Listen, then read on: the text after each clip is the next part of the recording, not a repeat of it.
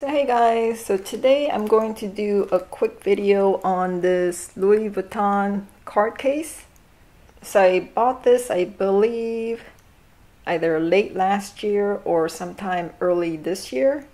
So this is part of the men's line. It's in the Taigarama leather. So you'll see it's in this cobalt blue. So I just wanted to go over quickly how it's been wearing.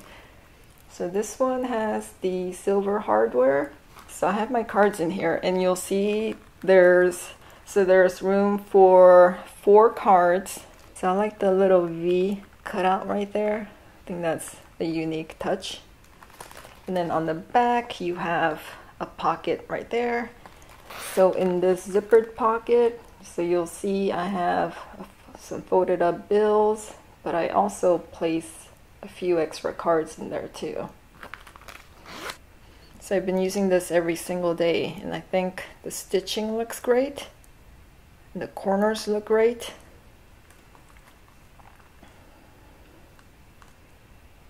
So with continuous use, can you see how there's the outline of the card? So that might kind of create some wear on the leather. So do you see that? So even after taking this card out, you can still see the outline of the card. But other than that, I think it still looks fine. So you can see the stitching still looks pretty good.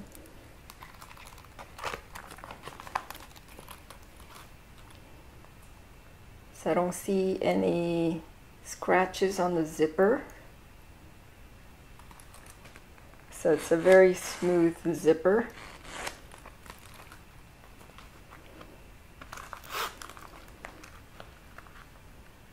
So this one, so this one was made in Italy.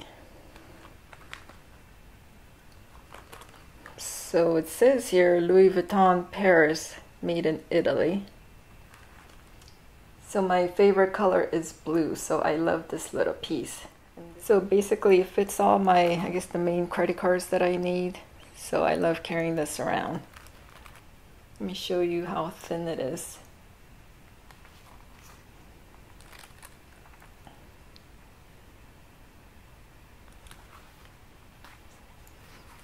So can you see, can you see how thin that is? So it's basically kind of the size of my hand. So that that fits perfectly in my smaller handbags.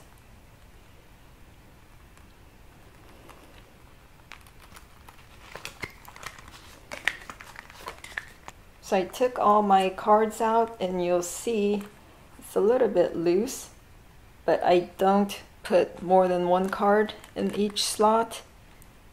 So it still holds the cards snugly so can you see the outline of the card?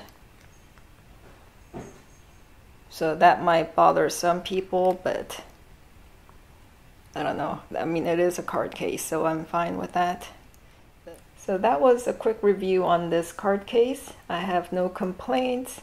I love the color. I love the silver hardware and it has enough room to fit my major credit cards as well as some bills in here. And you can also obviously put coins in here. Well if you found this video helpful please give it a thumbs up. Thank you for watching. I'll see you in my next video